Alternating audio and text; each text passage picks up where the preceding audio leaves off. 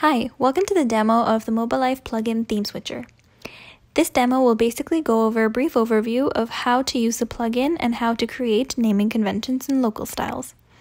As you can see, brands 1, 2, and 3 have already had their naming conventions and local styles created as illustrated on the right side of the screen. Brand 4 has the theme created, but the naming conventions haven't been created yet. We will be going over this in this demo. To create a local style, you must first select the color, go into the Fill menu on the right side of the screen, and click the Style menu. Once you click on that, a menu saying Color Styles will open up. Click the Add button, and a new window will pop up saying Create New Color Style. This is where the naming convention comes in. In order to name a color, you must first type in the name of the brand, so brand 4 forward slash primary since these are the primary colors that we are currently naming, and the number of the primary color. So primary dash 1 forward slash the name of the color. This process is then repeated for the second color.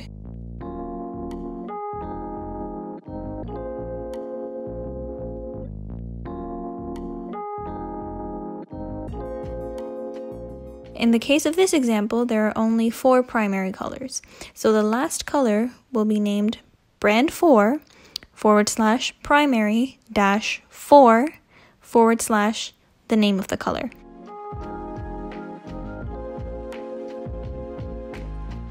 This process will repeat again for secondary colors as well. So the brand name comes first, forward slash secondary dash the number, in this case one, two, three, slash the name of the color.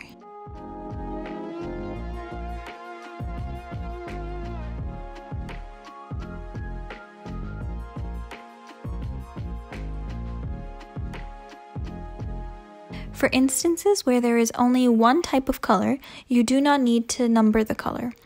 For example, in the text over here, we only have one shade. So what you will do for the naming convention in this scenario would be to select on the color and firstly type the brand name forward slash the usage of the color.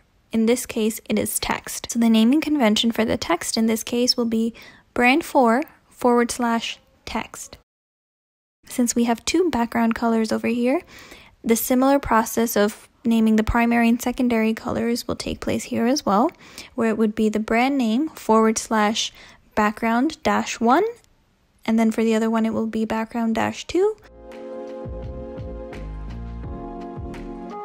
And finally, we only have one feedback color, so it will follow similar steps as the text, where firstly you will type in the brand name forward slash the usage of the color. So, for example, brand 4 forward slash feedback.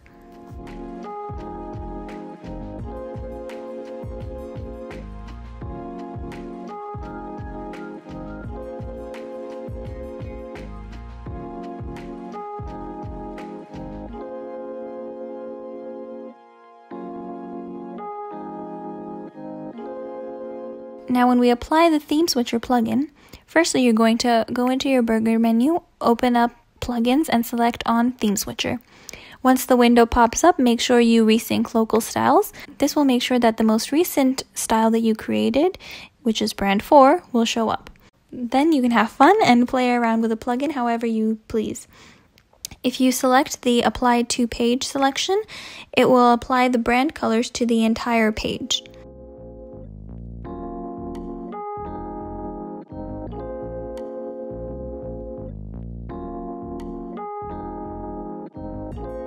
If you would like to apply themes to only individual items, you can select the individual items and then go to the Apply to Selection menu. Then you can change around individual items based off of the brand colors.